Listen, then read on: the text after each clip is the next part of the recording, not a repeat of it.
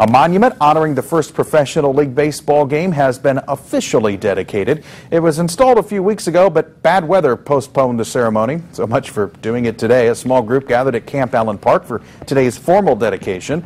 Researchers believe the game between the Fort Wayne Kekiongas and Cleveland Forest Cities in 1871 was the first professional competition.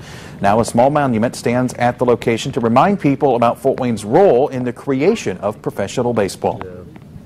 Well, Fort Wayne has a place in history that's been forgotten, and uh, this monument, among other things, should help people remember that we do have a very important place in the history of uh, Allen County and the history of Indiana and the history of the United States.